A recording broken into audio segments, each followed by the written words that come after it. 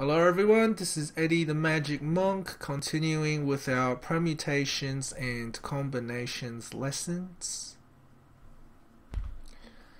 Now the central question that we want to answer during this tutorial is how many different ways are there of arranging three random letters without any letters being repeated?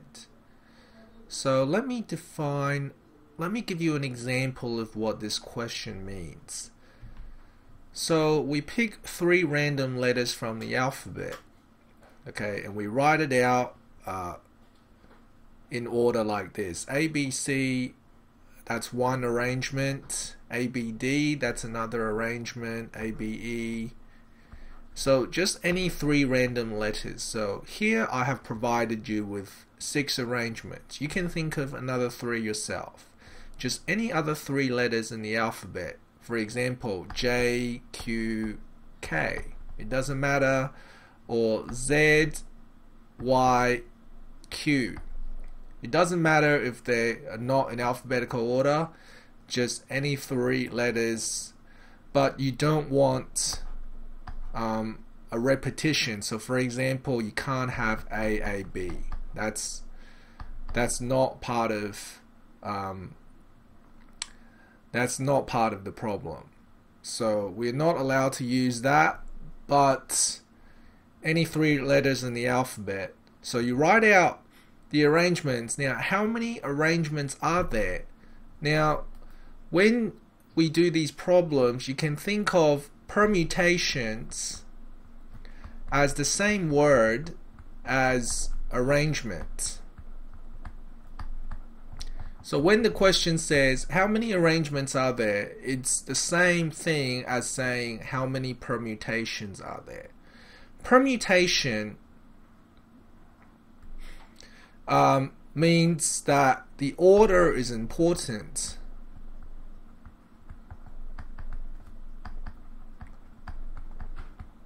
Now, what that means is, for example, A, B, C is different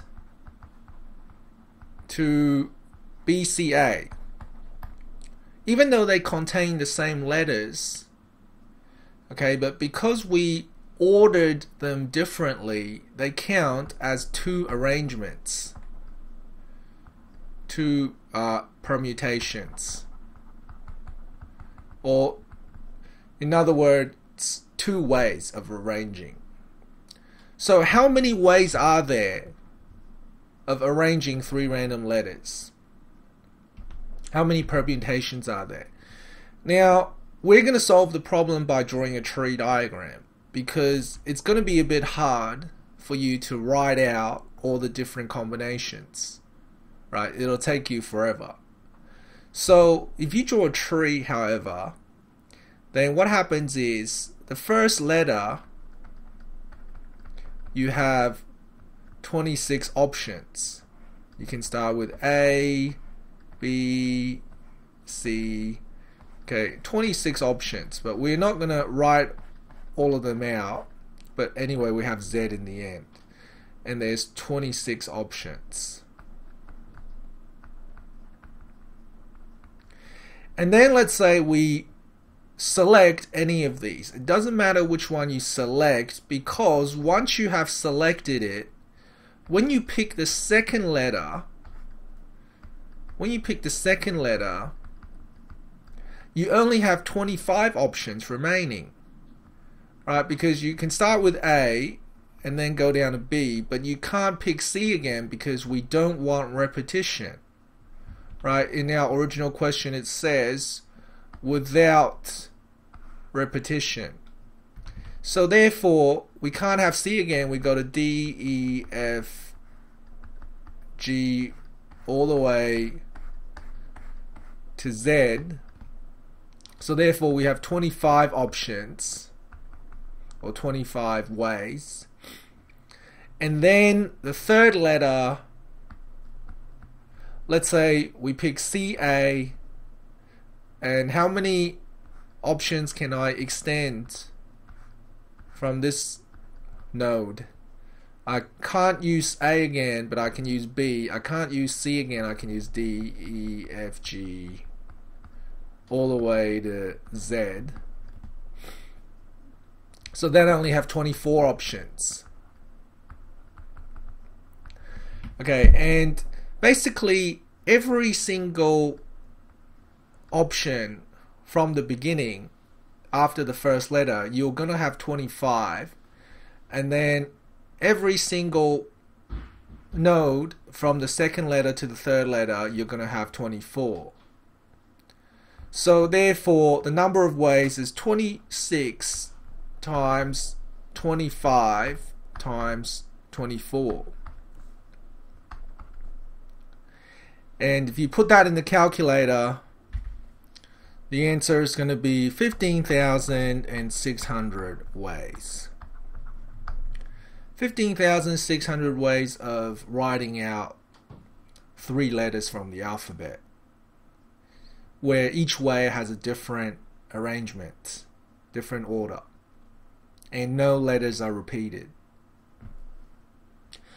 Okay, so it's all good doing it out of a tree diagram, but we want a faster way. We don't have to draw a tree every single time.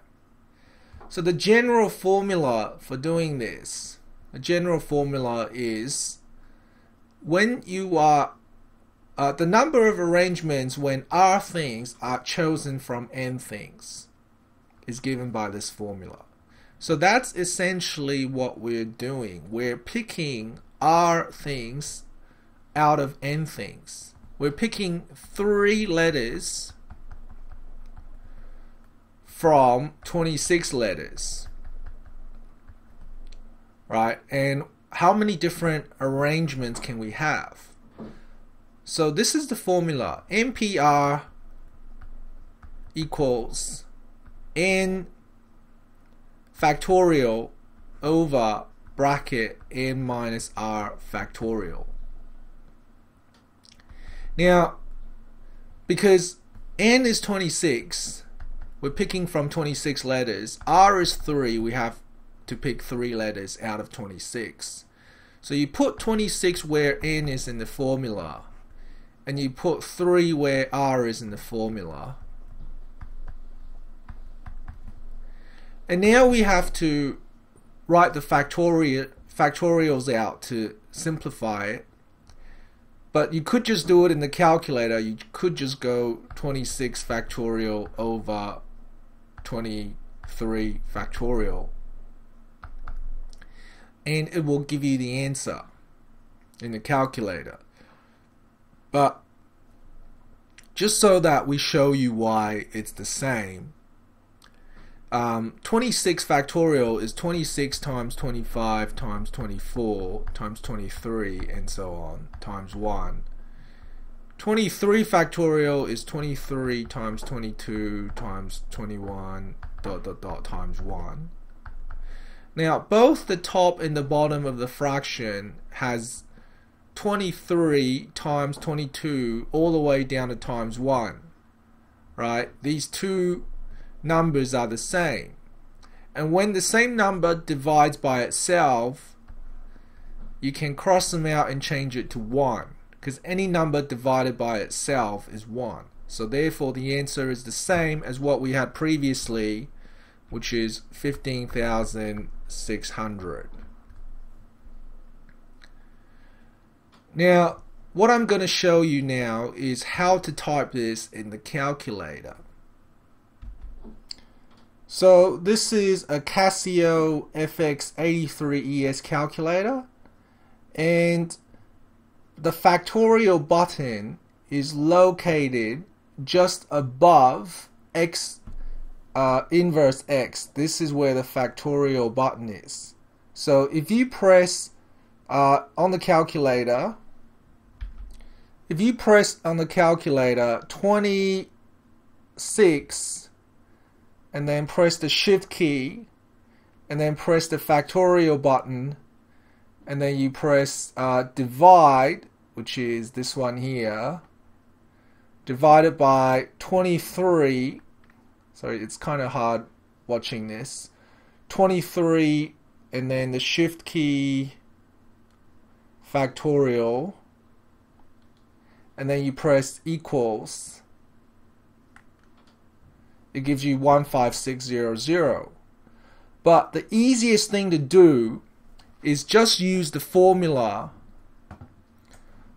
uh, NPR NPR so actually let me just write it out again. So NPR here we want um, 26 P3 okay because N is 26 and R is 3 so 26P3 so if you're gonna use type that in your calculator all you're gonna do is put in there 26 where is the P button on your calculator? Well, that's actually shift, shift times. And that brings up the P key. And then you can just press 3 and press equals. And you get 15600. Okay, so that's done. Okay, um, do I have a sample problem? So you guys should now find this extremely easy now. Four house captains are chosen from 200 students. How many possibilities are there? Well, because um, the four house captains, each house has a different name. So it'll be different, for example, if you place John in the house captain of, let's say, Gryffindor or whatever you call them, uh, compared to putting John in Slytherin, right? So it depends on um, who you put on which house. So uh, the ordering is important. So we use permutation. So permutation is NPR. Um, N is 200. R is 4. So it's 200 P4 and you just put that in your calculator. I just showed you how to type it in, so I'm not going to do that again. But if you just put in 200 P4 on your calculator, you will get 155243880 which is a pretty crazy number of arrangements. Okay, thanks for watching guys. See you next time.